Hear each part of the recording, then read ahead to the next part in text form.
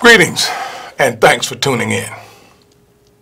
My name is Jones, and I'm the founder CEO of the 501c3 not for profit Inmates for Change.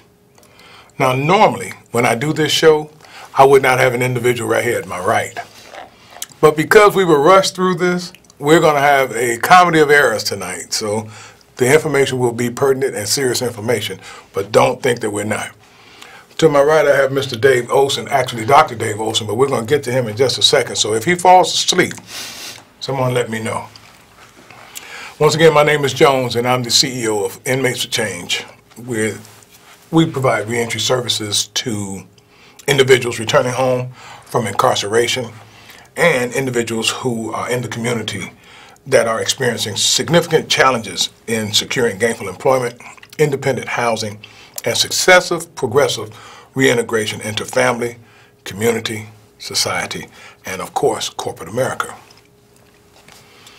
At Inmates for Change, our motto is breaking the bondage of destructive thinking, and I like to add, one mind at a time. Now, Inmates for Change provides brokerage services to individuals in need of education, to those who are affected by substance abuse, shelter residency for homeless, and referral services to vocational training programs. Now, I've got to read this because this was something new that my staff came up with. I hope you all can forgive me. I was supposed to memorize it before I got on the air, and I didn't. So, don't beat me up too bad. Inmates Change also offers a rehabilitative education curriculum workshop initiative entitled Path to Purpose. The Path to Purpose Workshop Initiative, they are facilitated in classroom settings that convenes for 90 minutes, three days a week, and for a duration of 6 to 24 weeks. The participants are introduced to critical thinking skills, interpersonal interaction skills, peaceful conflict resolution, excuse me, peaceful conflict resolution strategies, positive self-image enforcement, relationship issues, spiritual connectedness and mindfulness, corrective behavior management, and finally, productive lifestyle change. Now, for those of you who are interested in contacting us at Inmates for Change to supplement your existing program curriculum, we can be reached at, I'm learning this thing as I go. Here's our contact information. Inmates for Change, where we can be reached between 9.30 a.m. and 2 p.m. Monday through Friday at 773 746 3075. Again, 773 746 3075. Our website information is inmatesforchange.wixsite.com slash inmates change. Now, I know that's a mouthful, but that's why the card is still sitting there so that you can get it. And for our email, we are inmatesforchange at gmail.com. So let me give you just a few more seconds, take a look at the website information. I-N-M-A-T-E-S-F-O-R-C-H-A-N-G-E dot W-I-X-S-I-T-E dot C-O-M slash I-N-M-A-T-E-S-F-O-R-C-H-A-N-G-E. Inmates for Change. Now, on this show, we feature passionate guests who are representatives of organizations that are on the front lines of the struggle to reduce recidivism and the dysfunction in our communities. Our guests and their respective organizations, they work tirelessly, I'm going to tell you. They're offering services, resources, and pertinent information to assist genuinely interested individuals as they strategically navigate the minefield of successful reintegration into family, community, society, and corporate America. With that being said, I would like to introduce the guest to my right, Mr. Dave Olson. Dave, thank you so much for calling. I should say Dr. Dave Olson. Thank you for having me. Thank you for showing up. I really mean it. I gave Dave short notice about four months ago. Come on the show, and we're going to get started. Dave, I've got a series of questions, and because my memory is so bad, I had to use a card, a script card that I have here. I hope it's okay with you. Yep. Okay, great. Now, question number one, Dave, is are you relaxed? Are you okay? Yep, yep, I'm good. Okay, you ready to go? Yeah, we're, we're good. Okay, we're going to get it going. Uh, please let the viewers know what your position is and describe the duties you perform in that capacity. All right, uh, generally speaking, what I try to do in my work is uh, research and evaluation, uh, broadly speaking. So Um, My goal is to conduct rigorous research and use that research and those findings to shape more effective criminal justice policies and practices. Um, I do that at Loyola University in Chicago. Um, I'm a professor there, and I also am the co-director of Loyola's Center for Criminal Justice Research, Policy, and Practice. So the way that I, I use my research to improve criminal justice policy and practice, uh, one is through being a faculty member. Um, I teach undergraduate and graduate students um, with the idea that I'm trying to provide them with uh, the knowledge and the information they need to go out and uh, make the world a better place. Um, as co-director of Loyola's Research Center, um, I also do research that's directly responsive to the kinds of questions that practitioners and policymakers in the field of criminal justice are asking, uh, with the goal of trying to provide them with good, solid information upon which they can uh, make better policies and implement better programs. Okay, now let me ask you this, uh, before we get into the deeper questions.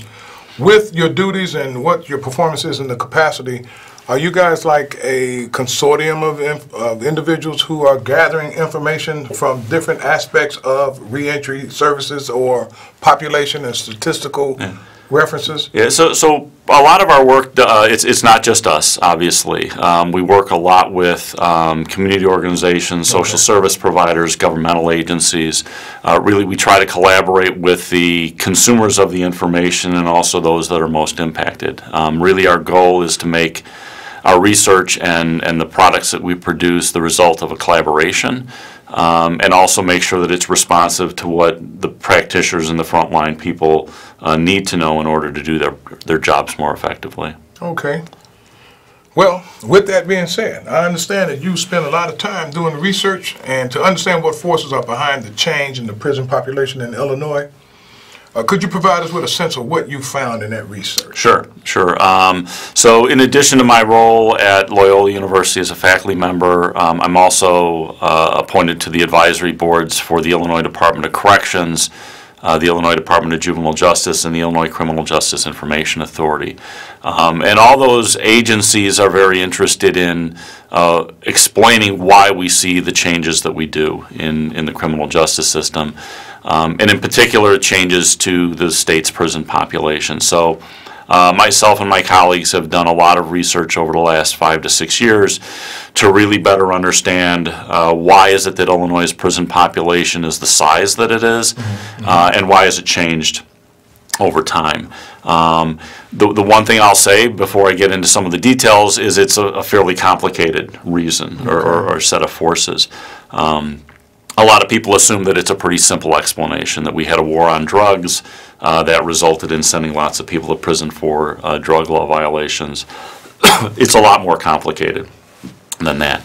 Um, from the late 1980s to the year 2000, Illinois' prison population doubled. Um, the reasons for that involve decisions that are made or were made across uh, every level of government and every branch of government Okay.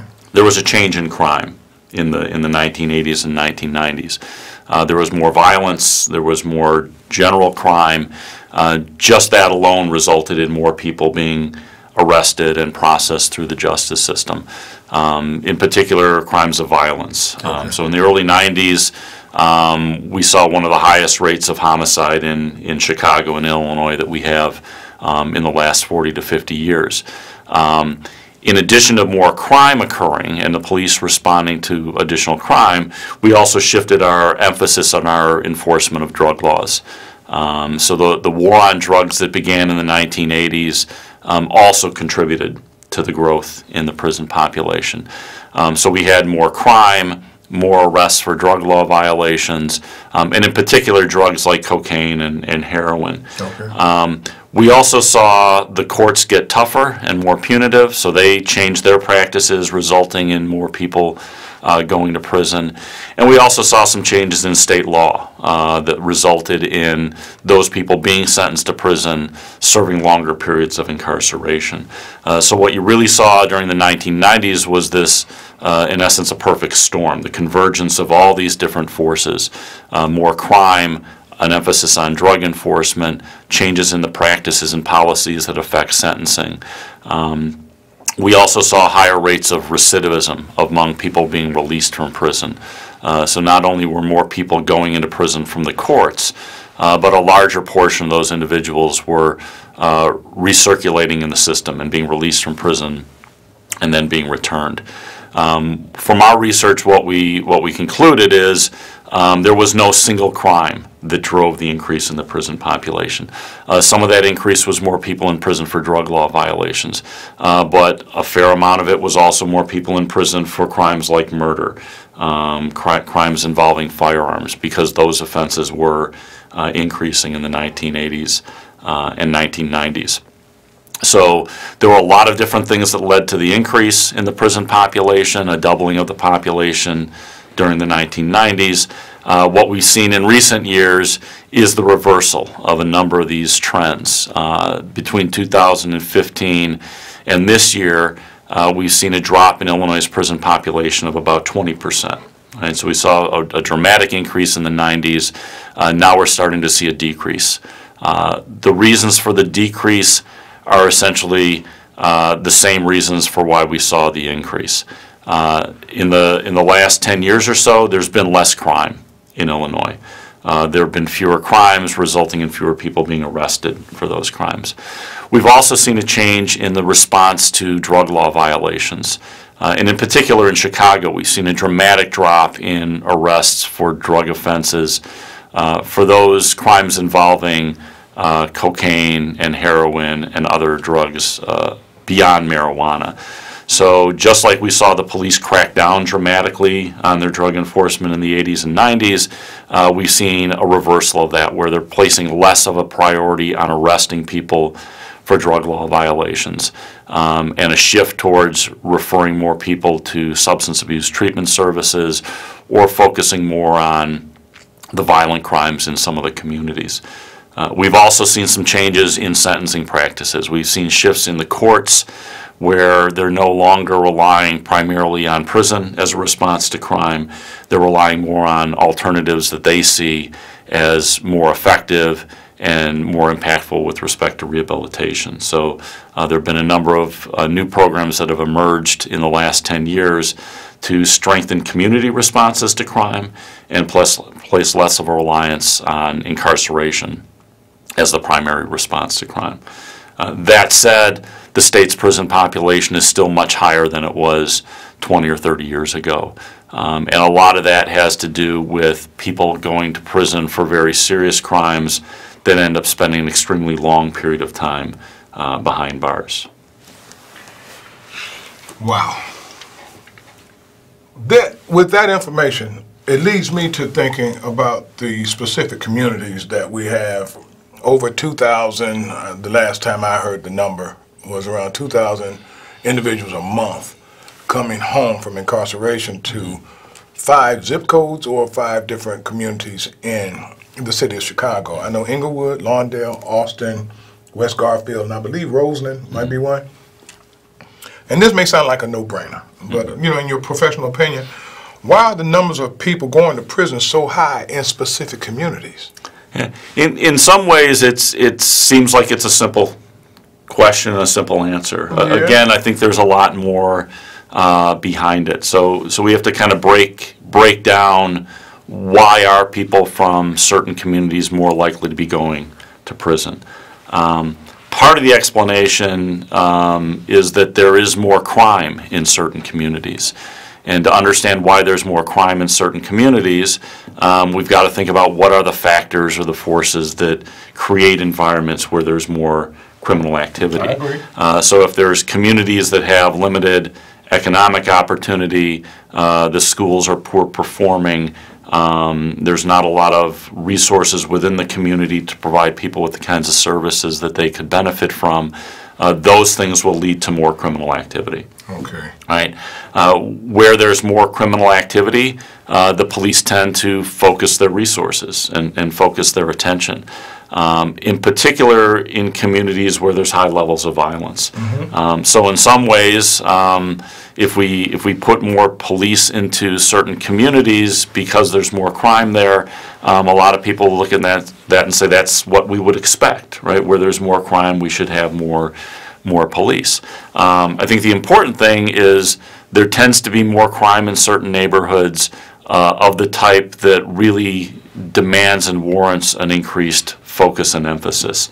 So in communities where there's high rates of homicide or high rates of shootings, uh, we'll see more police in those communities. Okay. Uh, While they're in those communities, they're looking for people who've committed crime. Um, But there's also the increased potential that they will observe criminal activity uh, like illegal drug use or drug transactions or some of those kinds of crimes um, that, that generally the public isn't calling the police about, but the police may view it. Um, And so where you have more police, you have more enforcement and, and more capacity for enforcement. Um, So when we look at those specific communities, they tend to have higher crime rates. We put more police there, and because there's more police there, they're making more arrests in those communities. Um, It's not to say there's not uh, crime that occurs in other communities. Um, For example, patterns of drug use likely are not that different from one community to the next in Chicago. Uh, But there's certain communities that don't have the dramatic police presence because they don't have those other forms of crime or violence that uh, result in more police officers uh, being deployed to those communities. Um, So that's been one of the, the concerns about the overrepresentation of minorities and, and the impact on minority communities of drug enforcement, is that there's drug use going on across the city, but it only seems as though drug arrests are being made in certain communities. And It only seems that way, huh? it it only seems that way. It only seems that way. Um, It, it, it is that way. Thank you. Right? But the primary reason is because there's more police in those communities. Yes. Um, The, the, the, the challenge is the one, one way you could reduce that is you could pull the police out of those communities, right? If there's not as many police in those neighborhoods patrolling and, and detecting drug use or drug transactions, there'd be fewer of those arrests. But people would obviously have concerns with taking the police out of those communities that are most impacted. Uh, So I think that's, that's one of the, the, the reasons behind that. Now, we've seen changes, like I said before, in drug enforcement. So the police in Chicago have uh, very intentionally changed their approach to drug enforcement, and they're making fewer arrests for drug law violations. Um, It's easy to argue that there likely has not been much of a change in drug use. Um, But the police have changed their response, and it's really the, the reflection of our democracy and the process by which community members raise their concerns about what the police are focusing on and what the police are doing, and elected officials respond. So in Chicago, uh, over the last 10 to 15 years, there's been about an 80% drop in arrests for drug law violations, for drugs that don't involve marijuana. And I kind of separate out marijuana from all the other drugs because uh, arrests for drugs other than marijuana, every single one of those is a felony offense. Every single one of those could potentially result in a prison sentence. And they involve the drugs that generally are of more concern uh, to the public, cocaine and opiates and, and things like that. So the police have reduced their arrests for those drugs by 80%. Um, There hasn't been an 80% drop in drug use. That's true. Right? It's just that they're changing their responses and their enforcement. Um, That change just in Chicago, as you pointed out, um, primarily affected specific neighborhoods, because that's where the concentration of those drug arrests were occurring. So in the research that we did, where we looked at the 20% drop in Illinois' prison population statewide, uh, what we've been able to conclude is that a substantial portion of that decrease in Illinois' statewide prison population can be attributed to the drop in drug arrests from just three to five specific neighborhoods in Chicago. Um, So it really illustrates the impact not only of increased enforcement in specific neighborhoods and how that can drive the prison population up, but when those policies change, we can actually see dramatic reductions in the prison population as a whole. That's the result of changes in just some specific neighborhoods and just how we enforce or how we approach specific types of drug law violations. You know, that's part of the thing that I was wondering as you were speaking, um, and I'm going to get to it about the legalization of marijuana and how it's going to have a large impact on the state's prison population. But what I'm seeing, and I live in Englewood, is I'm still seeing the police presence. I'm still mm. seeing brothers up against the wall. I'm mm. still seeing arrests being made. And as I'm listening to you with statistical research mm. evidence, empirical as it may seem, is crime and arrests are going down. But when I'm on the street and I'm looking at what's going on in my community, it seems that nothing has changed. Right. So my question is, do you think that the legal of, legalization of marijuana is going to have a large impact on the state's prison population? Yeah. And, and before I, I, I get into that, I think your, how you frame that question is important. Um, I can provide you with all sorts of objective statistics and do research that's, that's sound and rigorous. Um, if people's perceptions don't change, then if I tell them that drug arrests are down 80%, but that's not what they perceive, um, their attitudes don't change. They still think the police are there um, arresting a lot of people for drug possession and those kinds of offenses, and that creates some tension and some concern among the citizens. Um, and that's what I try to do in my work, is I try to provide objective research and information um, to try to better educate or make people more aware of what's going on because your day-to-day life and what you look at, um, you may focus on certain things, or yeah, you see people getting arrested, but do you really have a, a, the ability to say, is it different from what it was 15 years ago? Yeah. Um, and, and if so, how? Um, with respect to the legalization of marijuana, um, one of my, uh, my, my concerns is that uh, the argument for legalizing marijuana in many ways has been based on this assumption that we send a lot of people to prison uh, for marijuana uh, violations. Um, and, and I think people are conflating marijuana offenses and arrests with all drug arrests. Uh, so the war on drugs that was was created and, and launched in the 1980s and the 1990s uh, really had nothing to do with marijuana. It was really focused primarily On on, on cocaine and in particular crack cocaine. Uh, and then later in the 90s, it was methamphetamine uh, use and production. Marijuana really never was a priority or a focus of the justice system. Um, even legally, most marijuana offenses, uh, when it was illegal, were misdemeanor offenses. If, if you're arrested for possession of marijuana, in most instances, the uh, amount that you possessed uh, wasn't something that could result in your being sentenced to prison. So I say that because uh, you, you could argue for legalization for, for a variety of reasons. Uh, But uh, in terms of Illinois' history, we've sent very few people to prison for offenses involving marijuana. Um, And when we have, it's usually been for the production or, or sale of large amounts of marijuana, because the law really restricts prison only to those types of marijuana offenses. Um, now, I think one way that it may change the uh, overall issue of incarceration is the legalization of marijuana may change the conversation around all drugs. Um, Currently, in Illinois, we have a legal structure where some crimes involving the sale of cocaine or methamphetamine or opiates are legally treated as the equivalent of rape or armed robbery or attempted murder.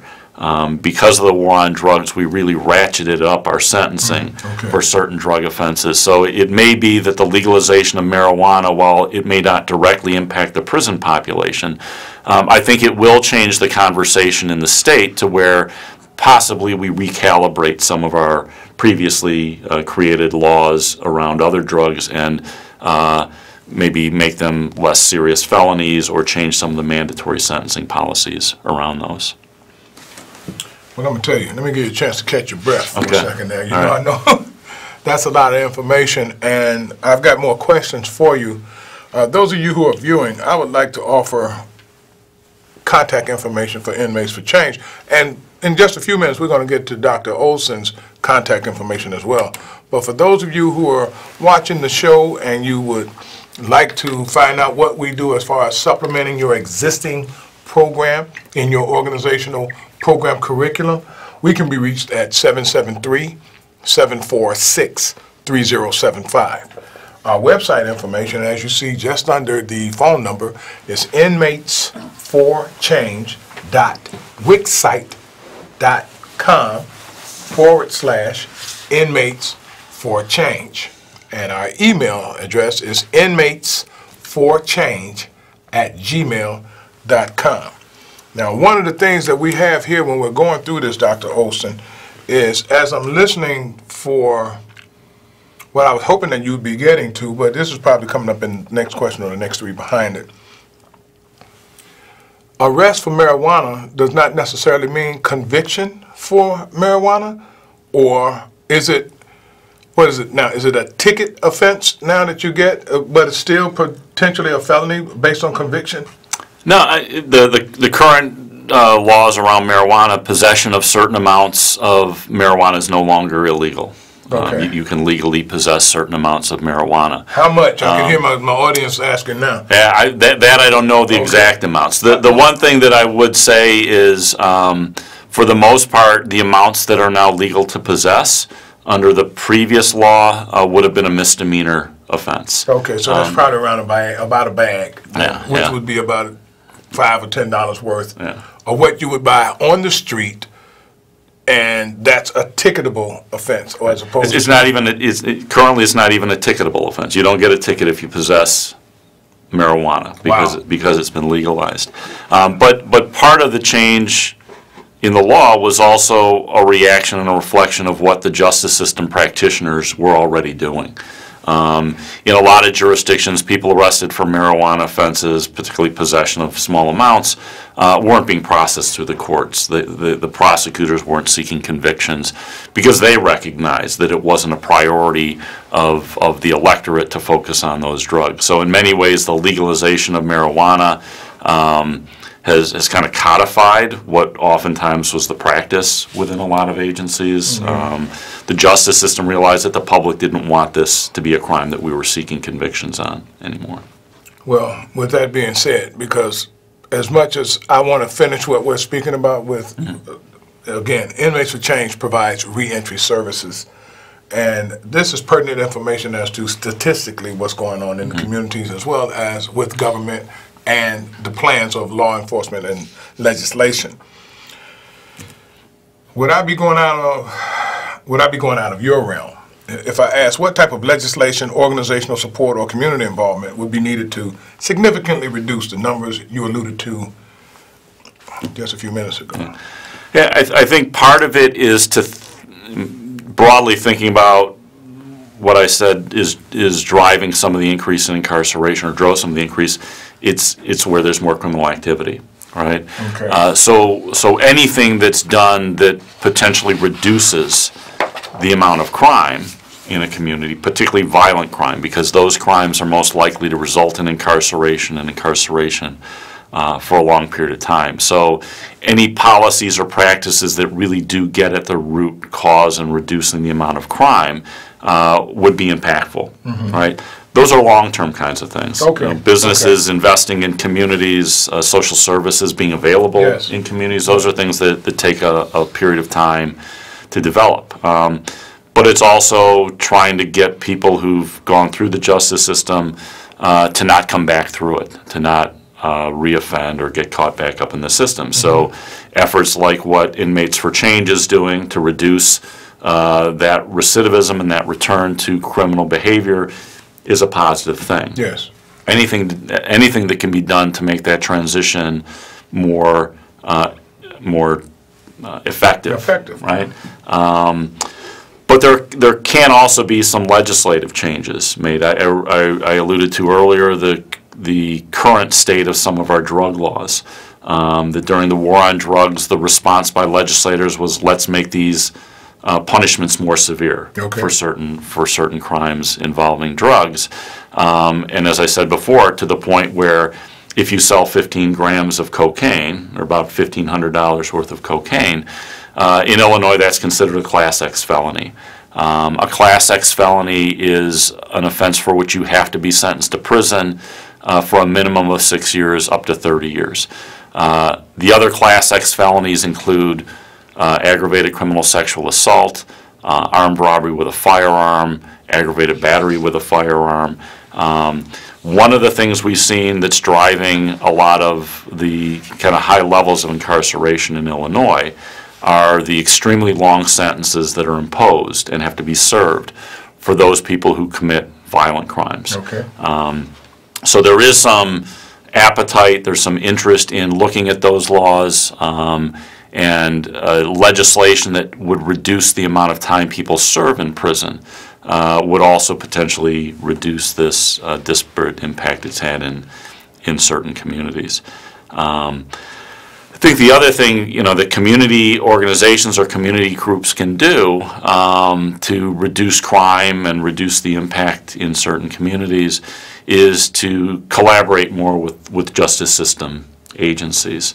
Um, the challenge to that is the war on drugs left a bad taste in a lot of communities um, of police occupation and police enforcement and, and, and incarceration. Uh, there have been high-profile cases involving police abuse.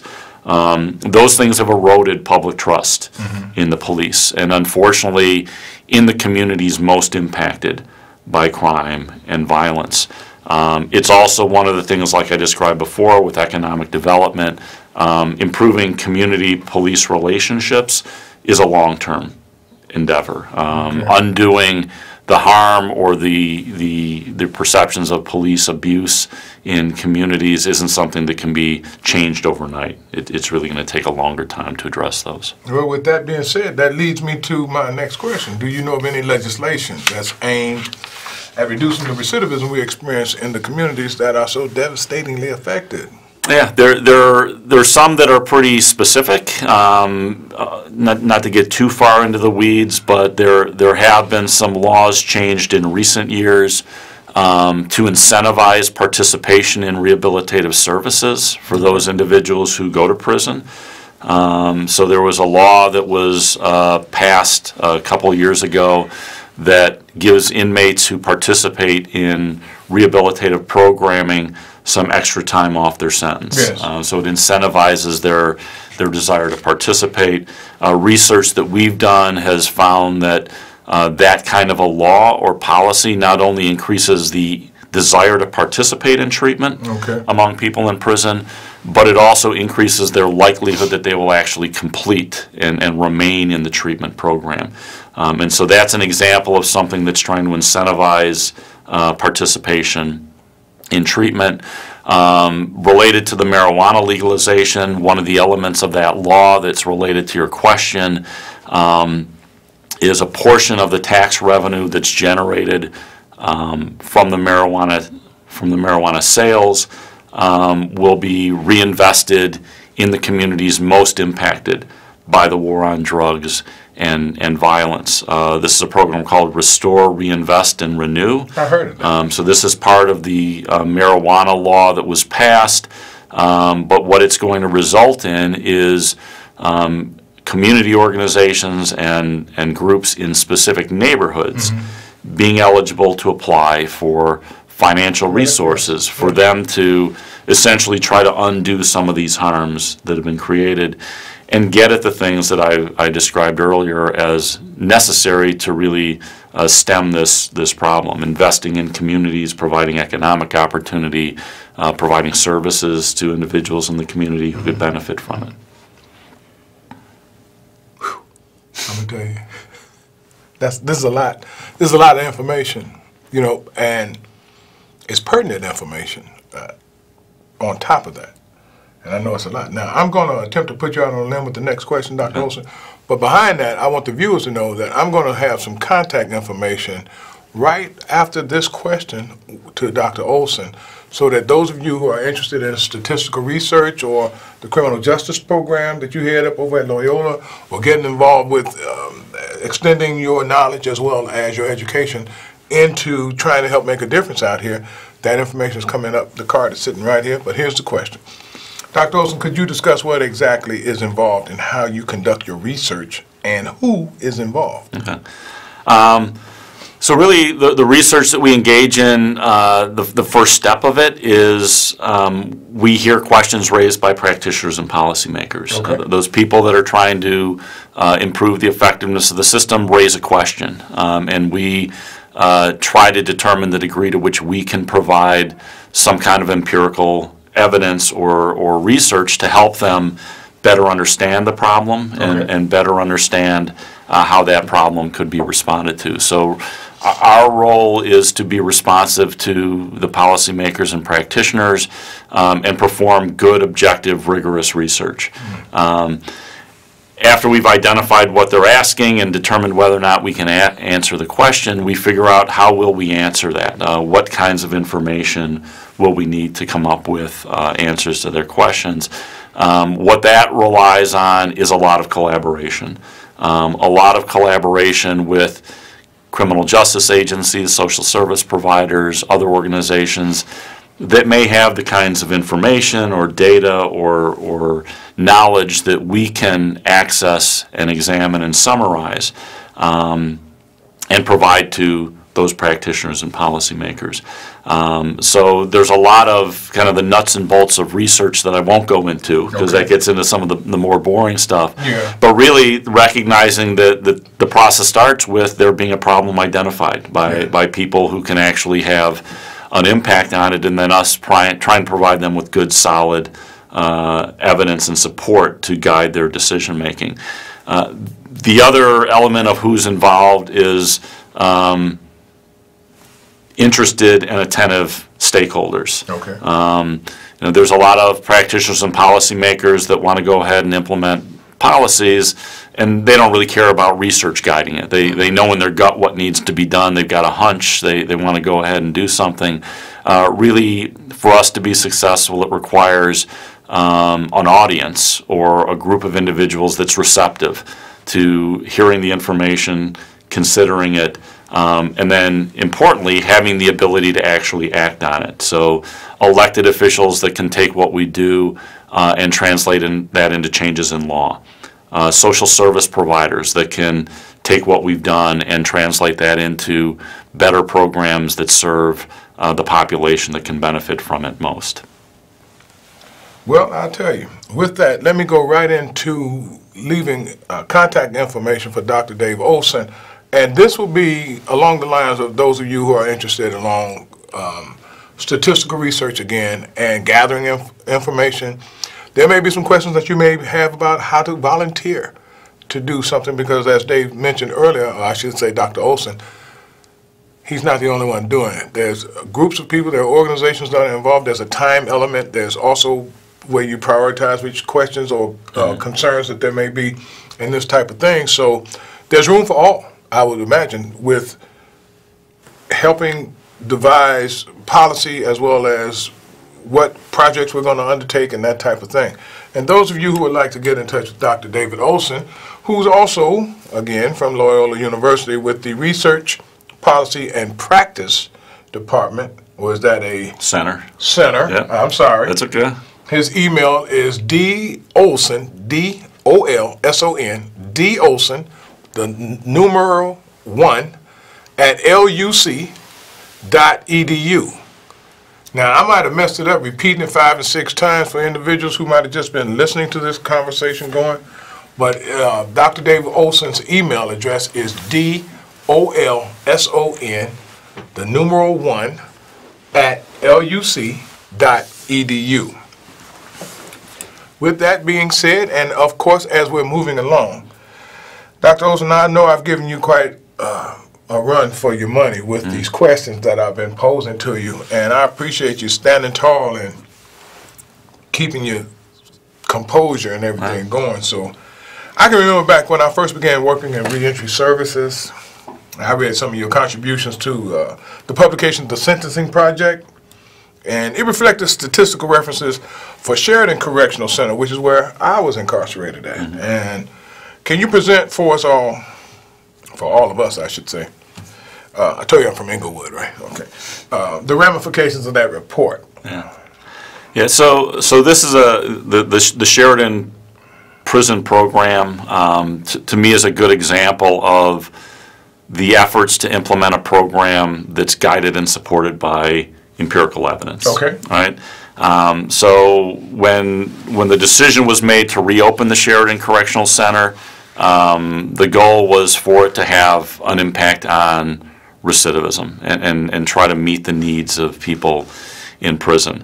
Um, So uh, I was involved in evaluating that program. The evaluation began the day that the program opened. Um, What we did is we did a a rigorous, long-term evaluation of that program. Okay. Uh, And, and the benefit that we had was the people who were running the program, uh, the administration within the Illinois Department of Corrections, asked for the evaluation. Uh, They wanted it to be rigorous, they wanted it to be thorough, and they were a receptive audience. Um, And so, as we were doing our, our research and evaluation, when we would uncover issues, um, we had an audience that would listen and consider what we were finding and make improvements to the program as it went along.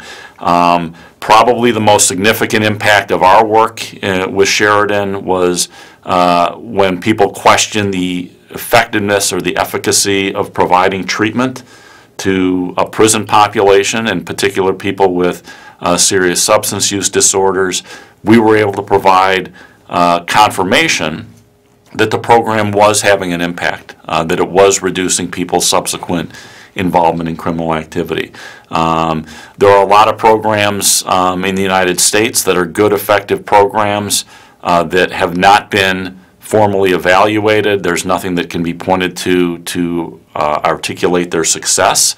And oftentimes, if one person comes out of that program and does something bad, um, there's nothing to counter that. There's no, there's no evidence to show that despite this one individual not benefiting, uh, the majority are benefiting. Um, And so I think one of the, the most impactful things our research did uh, was it provided the Illinois Department of Corrections and the Sheridan program with evidence that what they were doing was having an impact. And, and from what I've heard, it's the fact that it's been evaluated that's ensured its continued operation. Uh, When, when there have been decisions about cutting budgets or, or reconsidering programs, um, with Sheridan, they can always point to the fact that this has been evaluated and found to be effective. Um, And I think one of the other things that we found in the, in the research was it can be effective even for people who have histories of violence. Uh, Oftentimes, we, we, we as a society don't feel as though people with histories of violence um, are worth providing treatment to or, or are the priorities for treatment. Um, Really, the research suggests that those are the individuals who we should treat as a priority because of the, the potential for them to continue uh, harming communities. But we found that it is actually impactful. And it was also through that research that we found that the inmates that were participating who were eligible for extra time off their sentence uh, for their participation actually had better outcomes. Uh, They stayed in the programs longer, uh, they completed the programs, um, and it was the findings from that research that was the support for the legislation that increased the eligibility for those, uh, for those sentence credits. Well, what do you think is the most significant issue related to incarceration that the public does not know about? I, I think it relates to what we just, what we just talked about. I think the assumption that people have is when someone's sentenced to prison, that they're rehabilitated. Um, While that's one of the goals of, of incarceration, uh, realize that at least for the last 30 or 40 years, the primary goal of prisons have been punishment. Um, And, and there's a difference between punishment and rehabilitation. Uh, The research consistently shows that reducing recidivism through therapeutic interventions is the more cost-effective way to address crime. And so, um, as great as Sheridan is, and, and as great of an experience that you had there, getting access to services and providing you with some, uh, some skills, uh, it's only one prison out of more than 25 in the state. state. Um, There are very few prisons that provide the, the degree and range of services that are provided at Sheridan. Uh, There's a prison in, in East St. Louis called Southwest Correctional Center Yes, that operates similar to Sheridan. Yeah. Uh, Everybody at that facility is receiving therapeutic services. Uh, But those two prisons combined only can accommodate about 1,500 inmates out of the more than 35,000 that are incarcerated. So I think one of the things that people need to understand is for most people who go to prison, um, they do not receive much in the way of services or rehabilitation. Uh, They're certainly punished by being incarcerated, uh, and they serve their time, but then they come back to their communities, uh, usually with none of the issues addressed that led to their involvement in, in crime in the first place. Uh, The other thing that, that I think people need to recognize is um, there are a lot of people who are in prison for very serious crimes, um, who serve an extremely long period of time uh, in prison. And, and as a result of some of our sentencing changes that occurred in the 1990s, uh, we're now incarcerating a lot of people in prison, not because they know that, that they any longer pose a risk to the public, uh, but rather we still want punishment and we still want retribution. And I, I think people need to realize that um, that can be a goal of the system is to impose punishment, uh, but it's also an expensive goal. Um, and, and if someone poses no risk to public safety and they've served a substantial amount of time, um, increasingly we're, we're spending a lot of money uh, to primarily operate prisons that are uh, almost in parallel nursing Yes, home adult facilities. daycare, Right, almost, yeah. Right. I, I know, um, I was on a panel where we were discussing at the University of Illinois the aging in prison um, aspect Mm-hmm. and how guys were sentenced with life and double life sentences, Mm-hmm. but it's costing more to keep them incarcerated than it would if they were to receive medical or mental health services out in the free world. Right. And but the sentence dictates life, you know, without parole, and the cost effectiveness of keeping someone incarcerated who's suffering through physical, mental, and all other kind of deficiencies is going to be a budget buster, Yeah. you know, and it's that type of thing. Yeah. So we're closing up. We're coming down to about six to eight minutes, and I want to know that, Mike, do you have any information for individuals who are interested in pursuing a career in criminal justice? Yeah, I, I think that um, part of what people need to recognize is, one, the criminal justice system is more than the police and lawyers. Um, a, a lot of people uh, that I talk to, particularly parents whose student, who, whose children are interested in criminal justice, they their question is, what is there other than being a police officer or going to law school? Um, and I say there's a lot more Yeah. to that, right? So, um, you know, the, the criminal justice system involves a lot of agencies beyond just the police and, and attorneys. Um, there's the traditional frontline staff that we always think of. Um, there's also uh, a lot of people who do human resources, Okay. who do research, who who do things within criminal justice agencies that oftentimes people don't think of. Um, there's also a lot more to the criminal justice field than the criminal justice agencies. Um, there's social service providers, there's community organizations, there's advocacy groups um, that employ people to work with this population, to work on these issues, um, particularly with this movement towards uh, criminal justice reform. Okay. Uh, It's given rise to a lot of uh, grassroots organizations, uh, nonprofits uh, that are there not only to serve the population impacted, but to advocate for more effective ways to respond to uh, the problem of crime uh, within our communities. That's something, and thanks for that. Now, let me give a little bit more contact information for individuals for Inmates for Change, 773-746-3075. That number is open from 9:30 a.m. until 2 p.m. Monday through Friday. Email, you can send it at your convenience, inmatesforchange@gmail.com. And those of you who would like to purview the website that we have, inmatesforchange.wixsite.com forward slash inmates for change. And let me, right now, put some more information back here for Dr. David Olson. Those of you who are interested in becoming uh, career-minded uh, criminal justice and all of the other aspects that it has involved with it, you can give Dr. David Olson an email at D-O-L-S-O-N, the number one, at luc.edu. Now, Dr. Do- Dr. Olson, I'm getting ready to say someone else's name. Uh, would you like to acknowledge anyone or send a shout out to interested parties? Sure. I mean, the, the first I'd, I'd start with is you. Oh, man. For, for having me here. Well, thank you for coming and, aboard. and for and for doing this work. Um, I think one of the kind of the un- unsung heroes within the field of criminal justice, especially in the area of criminal justice reform, is all the community groups, social service providers, nonprofits, advocates uh, that are trying to change the conversation Yes, sir. uh, and, and raise sir. people's awareness so that uh, we can engage in more educated and informed discussion. So uh, I appreciate the work you're doing and, and the shows that you put on and, and your work in the community. Um, I'd also be remiss if I didn't thank Loyola uh, for providing me and, Absolutely. and my colleagues and, and our students with the support and opportunities to do the kind of work that we're doing. Uh, There's a number of foundations that support our work, the MacArthur Foundation, uh, the Joyce Foundation, the Arnold Foundation.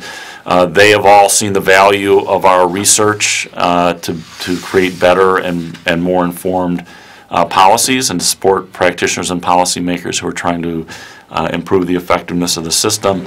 Uh, And lastly, I'd just like to thank all the people who are out there uh, working on the front lines, uh, from people working in criminal justice agencies that um, are oftentimes uh, unrecognized or criticized for, for some of the policies that they have no control over, uh, for all the community groups that are involved, uh, all the way down to people in individual neighborhoods uh, that see a problem in their community and they try to address it, uh, that see an individual who may be engaged in behavior that puts them at risk, uh, that engages in a conversation with them to try to provide them with some, some different direction. So it, it really is an issue uh, when it comes to crime and addressing crime that we can't rely solely on government to address it. Uh, We've got to look within our own communities, uh, within our own homes, and within our own uh, capabilities to see what we can all do. And there's a lot of people doing great work uh, that collectively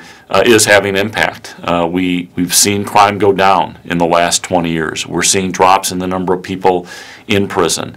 Um, This is a result of a lot of positive changes of people uh, working within the criminal justice system, uh, within schools, within mental health treatment facilities and programs, um, all the way down to community groups. So uh, Okay. there's a lot of, a lot of uh, thanks to go around and a lot of credit to go around. That's great. And I want to thank my viewers for tuning in again at the beginning.